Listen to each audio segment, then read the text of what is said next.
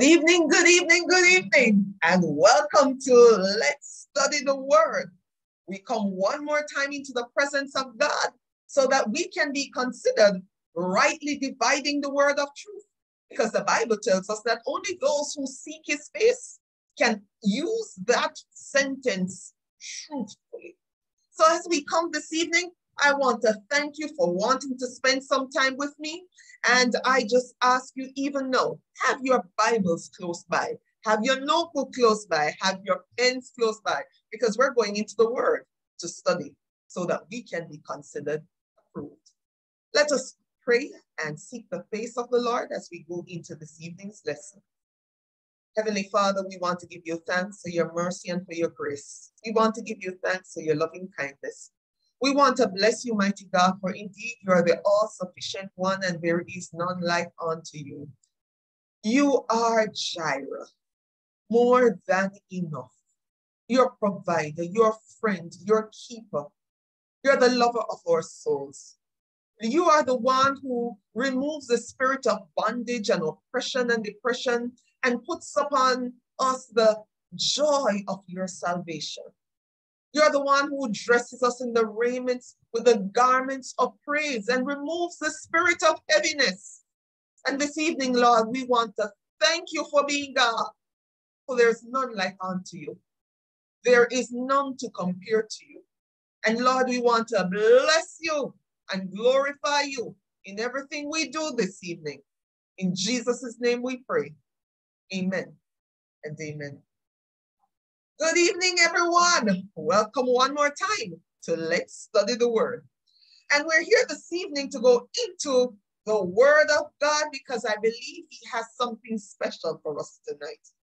And sometimes, in order for God to get me to the place where I understand that the Word He wants me to bring across, He carries me there. And let me tell you, this has been an interesting week for me a, a week of hurt, a week of pain, a week of tears, a week that I would not like to repeat, but only having gone through that week am I able to truly give justice to this word. I'm going to ask you to turn in your Bibles. We're looking at two sets of scriptures tonight. We're looking at just a few verses from St. Matthew chapter 6. And I really do hope that you open your Bibles and read the word with me tonight because I think it is important. And we're starting at verse 25. St. Matthew chapter 6, verse 25. This is one of the easiest scriptures to find because it's the first book of the New Testament. And it reads thus Therefore I say unto you, take no thought for your life what ye shall eat or what ye shall drink, nor yet for your body what ye shall put on it. Is not the life more than meat, and the body more than raiment? Behold, the fowls of the air, for they sow not, neither do they reap, neither do they gather into barns, yet your heavenly Father feedeth them. Are you not more important? I want you to underline that. Are you not more important? Are ye not much better than they are? Hmm. Which of you, by taking thought, can add one cubit unto his stature? when you worry, can you add one measure to your day, one moment more to your life? And look at verse 28. And why take ye thought for raiment? Consider the lilies of the field, how they grow. They toil not, neither do they spin. And yet I say unto you that even Solomon in all his glory was not arrayed like one of these. Wherefore, if God so clothed the grass of the field, which today is and tomorrow is cast into the oven, shall he not much more clothe you, O ye of little faith? Therefore, take no thought, saying, What shall we eat, or what shall we drink, or wherewithal shall we be clothed? For after all these things do the Gentiles seek. For your heavenly Father knoweth that you have need of all these things. But seek ye first the kingdom of God and his righteousness, and all these things shall be added unto you. Let's read the final verse. Take therefore no thought for the morrow, for the morrow shall take thought for the things of itself. Sufficient until the day is the evil thereof. I want you to then turn in your Bibles to a quick one now in St. Luke chapter 7. St. Luke chapter 7, and we'll be reading verses 11 to 16. And it came to pass the day after that he went into a city called Nain, and many of his disciples went with him, and much people. And when he came nigh to the gate of the city, behold, there was a dead man carried out, the only son of his mother, and she was a widow. And much people of the city was with her. And when the Lord saw her, he had compassion on her and said unto her, Weep not. And he came and he touched the briar, and they that bare it stood still, and he said, Young man, I say unto thee, arise. And he that was dead sat up and began to speak, and he delivered him to his mother. And there came a fear on all, and they glorified God, saying, that a great prophet is risen up among us and that God had visited his people. If I was to give thought to a topic for tonight, it would be the compassionate God. The compassionate God. I want to take time this evening to go slow because I believe this topic is worthy of note. As I gave thought to what I'll be ministering on, and usually I start thinking about what I'm going to minister on from the Sunday, I kept being drawn to this idea, this thought of this God who loves us beyond measure. This God who sat down and took time to put into place a plan that would redeem sinful man back unto himself. This God who so loved the world that he knew the price that would have to be paid to reconcile man unto himself. And it was a price he paid and paid willingly. He paid the price because he felt that that relationship he wanted with man was worthy of it. Think about it for a moment. If you went to the market and you saw something and it didn't look all that good, and they were offering it for a high price, would you buy it?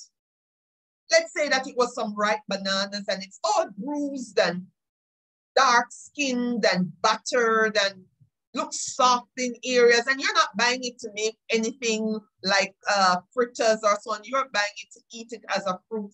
And you look at it and the gentleman said to you, hey, I am willing to sell this one hand of banana, 12 bananas on the hand.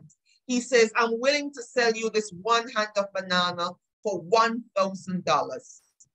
Would you buy it? I dare to guess that many of you would say no, because no, that's too high a price to pay something that's bruised and battered. If you were giving it for free, yeah, I'd probably take it then, but I'm not going to spend my hard-earned money to pay so much. And we've got to do this in context because you may be watching this broadcast from another nation.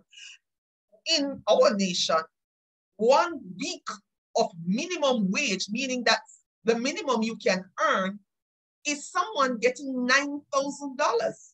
So if this person takes a thousand dollars out of that nine thousand, they would have used one ninth of their entire week's salary to buy a dozen bananas. Is it worth it? It doesn't look that way. But here is God looking on man stricken, broken, bound for death and hell. Man not having any worth, not being very good. Man being the first opportunity they got a killer. Man being the first opportunity they got wanting to usurp God by building a city towards the, the sky. Man being so wicked and, and angry and hurtful that God once used a flood to cleanse the earth. Yeah, that, that man that, that is so sinful and so unjust that when God decided to give laws, he had to command them not to kill each other. Yeah, that, that type of man, bruised, battered, not in good condition.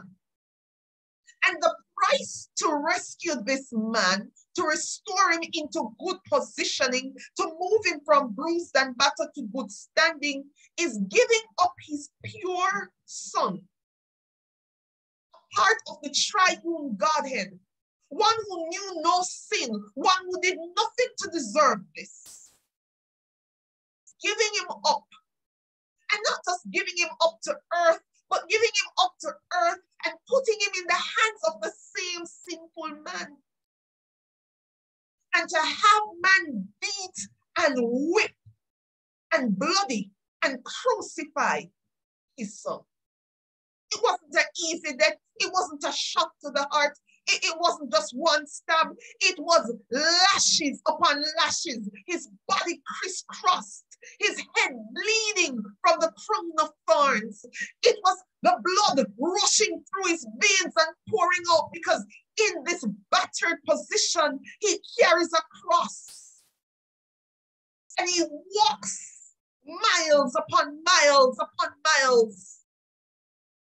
And when he's thirsty, they give him vinegar to drink. You got to understand that from the Garden of Eden, God knew this was going to be the story.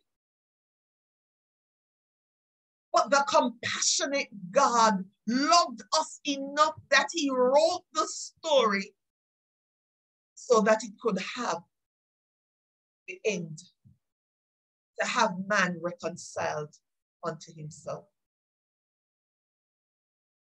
That's the compassionate God who loves us beyond measure, who, who loves us to a point where he would give of himself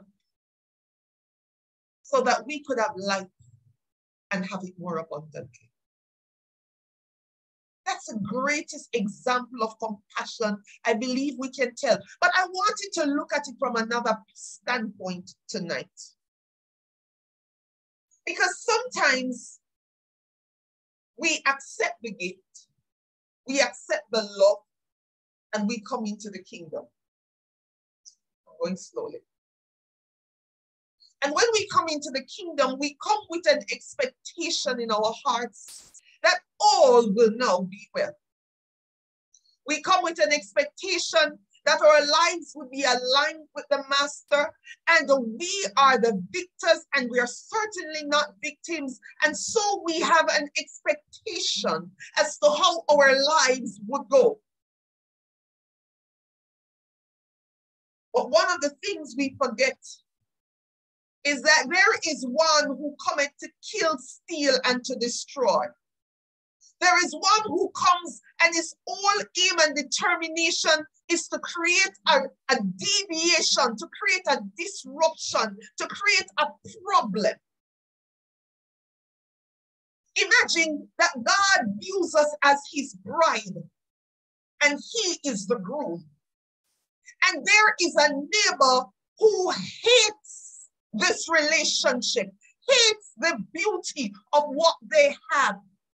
Here is this this neighbor who looks at this marriage and detests everything that they see. Or to put it in another scenario, imagine a broken relationship between a man and a woman, and the woman leaves, and the man finds another woman, another woman that he says, I love you enough to make you my bride. I will forget how hurt I was with the former relationship and I want to betroth myself to you. I want to give myself to you. I want to take care of you. I want to love on you. And the woman who broke off before, who had betrayed the man before, the one who had cheated on the man before, comes and he sees this relationship and how beautiful it was. And he's so jealous that that person decides, look, I'm going to do everything in my power to disrupt this relationship. I'm going to tear this relationship apart. And so they inject themselves into the relationship and they say, What can I do to tear it apart? And they may call the wife and they may call the husband and they may do things to create friction. Well, you've got to understand that that was the story that Satan depicts. For he was once in heaven and he was so beautiful, he was called the morning star. And he was so wonderful in his praise and in his worship that there was none like unto him. He was a cherubim until he determined in himself, like Vashti did, that I am not going to respond anymore to the king. I'm going to do things my way. And then, if it wasn't bad enough, he says, Look here, I'm going to take over the throne. And God says, You've gone too far. And God kicks him out of heaven, and there's a rebellion. And one third of the angels in heaven sided with Satan and ended up being ejected from heaven. And when they saw the relationship that God ensued with man, come, let us make man in our own image and in our own likeness. Come, let's give man dominion, authority, and power. Come, man, let's reason together. Come, man, let, let, let's, when we talk, we have a relationship, a beautiful thing to be envisioned. And Satan says, hold up, that's what I used to have. I don't like this. I, I don't like this. I got to disrupt this. I got to break this. I got to make God see that man is just as bad as I am. I've got to inject myself into the situation and go whisper in man's ear. I've got to tell some lies, some things that to break this relationship. And that's what he did in the Garden of Eden. He injected himself in the garden and he started to whisper some sweet nothings. What, don't, don't listen to him. He's just trying to keep things from you. He knows that you're just as powerful as he is if you eat of this tree. Come on over on this side. Come and taste and see. Why don't, why don't you try what I'm saying? And before you know it, man has fallen into sin. Man has fallen away from God. The relationship has been disrupted. And the compassionate God puts his plan into place and into action.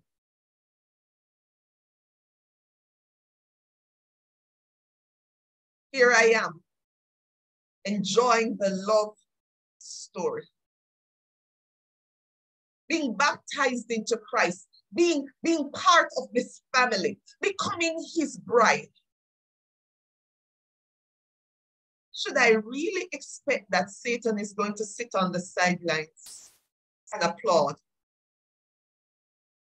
So this week, as I thought about this message of compassionate God, I really had to go through some things so that I can understand this message in its fullest. This week, I was betrayed by someone.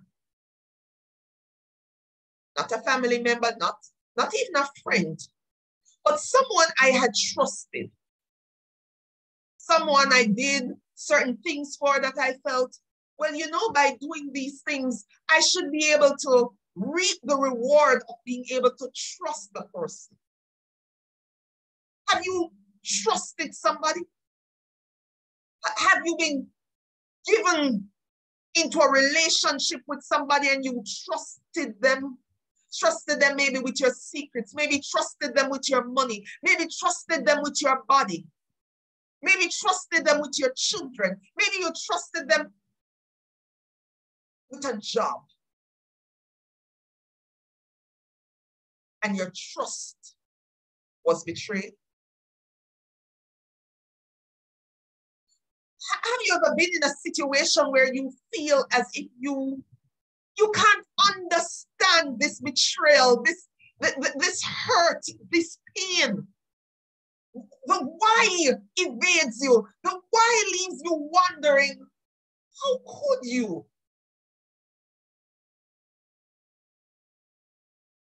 And as I went through, my sisters tried to comfort me and my friends tried to comfort me and they all had good words, but I was hurting.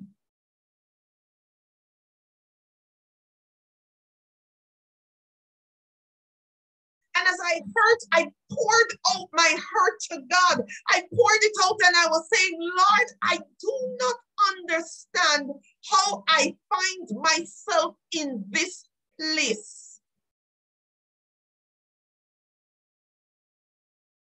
I found myself going into the word to seek an answer, some solace, some comfort. And the human side of me wanted to turn to the Psalms, to turn to Lord will avenge me. It wanted to say, find the scriptures that would say that you shall walk upon your enemies. you know, that part of you that wants that vindication that God is standing for you.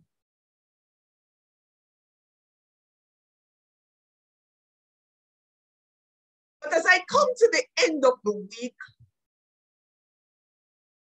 I found that what I needed was to be reminded that God loves me. That the God who I have a relationship with will supply all my needs, the good times and the bad.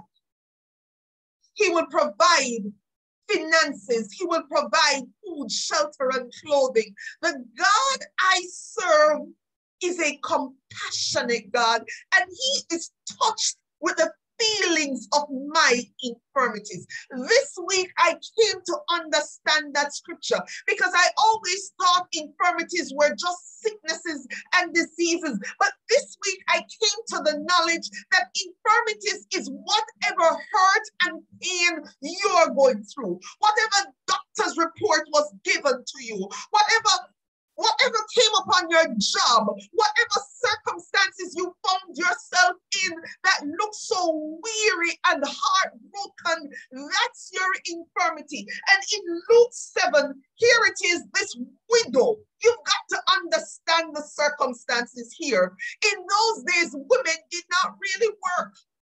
Yes, you were the proverbial um 31 woman and you may put your hands to trade, but most women did not work. And so they were dependent upon their husbands and upon their children. That is why the women of those days were so caught up with having sons. Because in the event of the death of their husbands, the sons would still make provisions for them.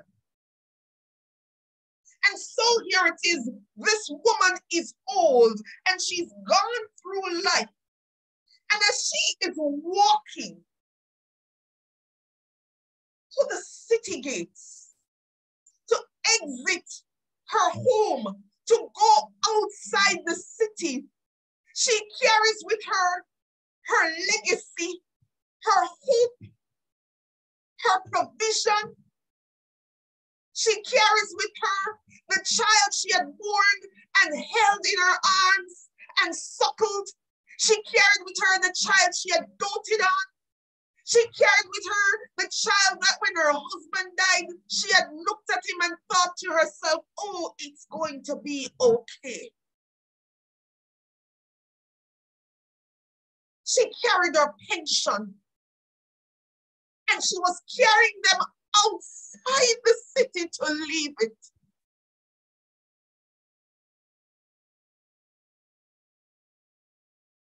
I can just imagine she wondered, when I come back through these gates, I'm coming back empty.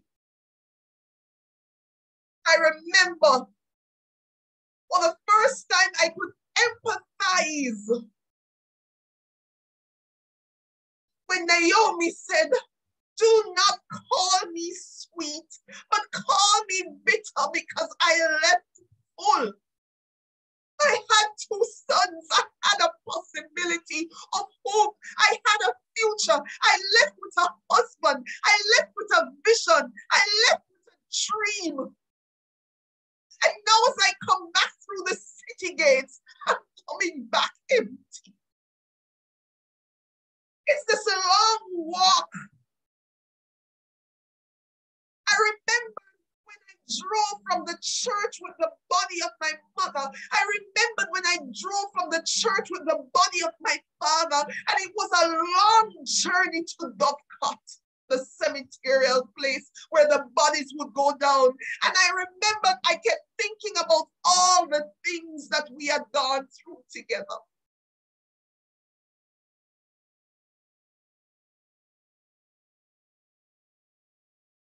If you've ever lost someone, that, those are the things that go through your mind as you move along that procession.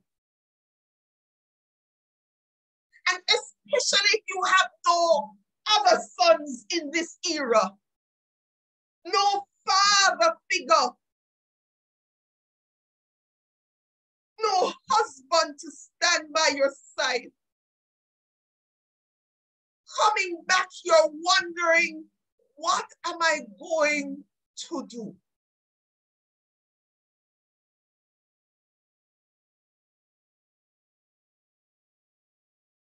See, a lot of people accompany you to Dovecot. A lot of people were coming out of the city with her. That's what it says in verse 12. Much people of the city were with her. I don't know whether he was popular or she was popular, but there was a lot of people. And before COVID, there would be hundreds of people following you to the to the church and hundreds following you to the graveside. But when you're going home,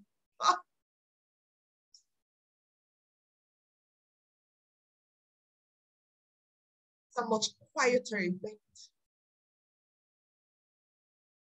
And she was looking back to go home to four empty walls and a broken heart, trying to figure out what she was going to do. The Bible says Jesus saw her I want to tell you today that God sees you. He sees the tears that only you know about. Everybody else looks at you and sees your successes and sees you, sees you as standing. They don't know the pain that runs through you at night as you put your head on that pillow and tears wet that pillow. I cried every night for this last week.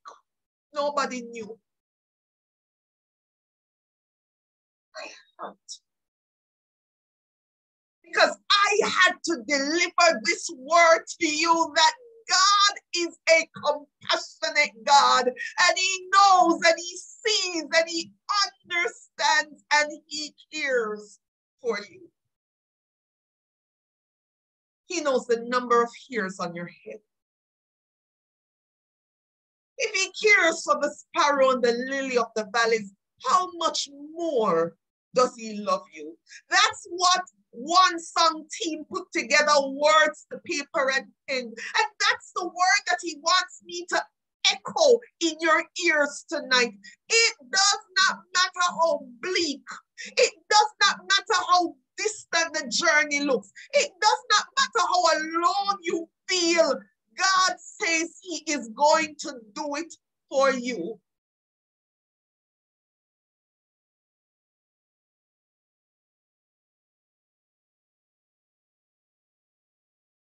He dresses the lily of the valley with beauty and splendor, how much more does he love you?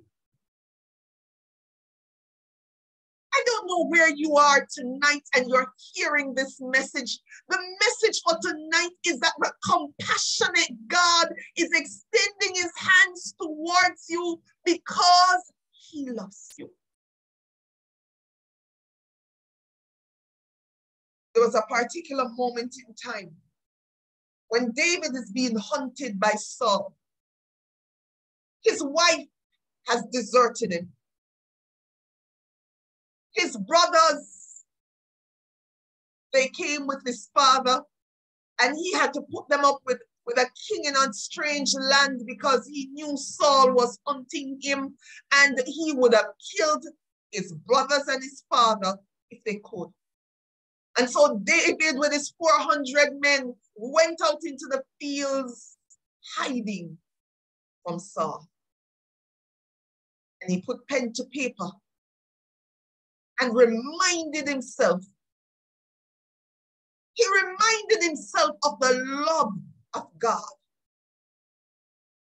There was another occasion when, when he sinned against God and when Nathan backed him up as a prophet and told him his sin, and when he saw himself in the mirror of Christ, he cried out and said, Lord, take not thy Holy Spirit from me. Let me tell you, God will stay with you through thick and thin. He will be the lover of your soul if you just give him that opportunity.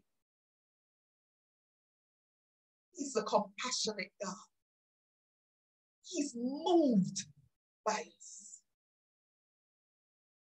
He loves us. When he heard that his friend Lazarus had died, the most profound scripture verse follows. It says, Jesus He knew he was going to raise Lazarus from the dead. So why did he weep? He was weeping for Lazarus. He was weeping for us.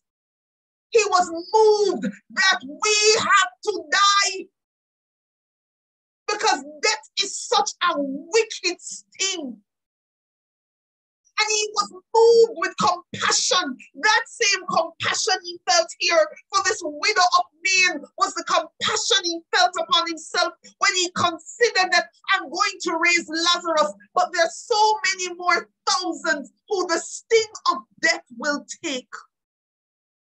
Even Lazarus himself will die again. The compassionate God is concerned about our souls and he's concerned about our here and he's concerned about our emotions and he's concerned about our feelings and he's here and he's extending his hands towards us and he's saying, come and lay on my breast.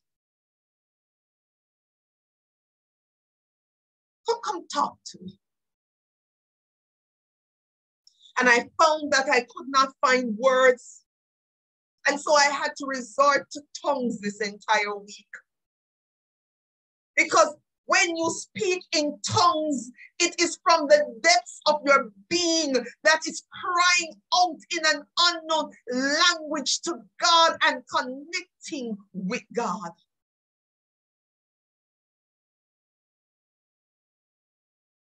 So I walked the journey this week. I held on to God. I believed for his word. And every time the enemy closed the door to the circumstances and to the situation and blocked me in a corner, I cried out to God. And God said to me this evening, now you understand. I want you to cry out on behalf of my people. So all of you on this program that are live tonight, tonight I am crying out on behalf of your individual situations.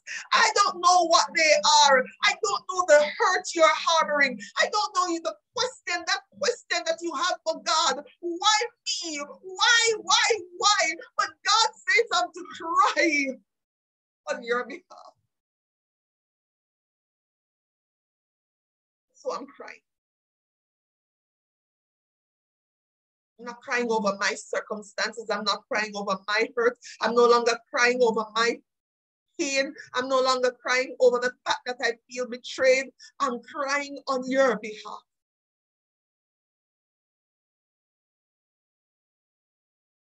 I'm interceding on your behalf. For I want you to know that your God sees and he knows and he's able to do abundantly more than you can ask or imagine. I want you to know that he is touched with the feelings of your infirmity. I want you to know that He's not forgotten you. That's the message God says to tell His people tonight that He's not forgotten you. He's still the compassionate God, and He still has you in His thoughts and on His mind. He says, Don't give up, don't let go. Don't let the darkness overtake you. For though you walk through the valley of the shadow of death, fear no ill, for he is with you. The compassionate God is holding you. He's keeping you. That's why you have not altered and failed. That's why you have not died. That's why you are not at Dovecot. That's why you're not buried six foot six. Because the compassionate God is still holding you in the palm of his hands. And he says, I will bear you up. He says, if I love your soul so much that I would send my son to die, do you think I will allow these things, whatever your circumstances, whatever is in your area, whatever your Job cry is, do you think God will forget about you? Do you think God will not pay attention?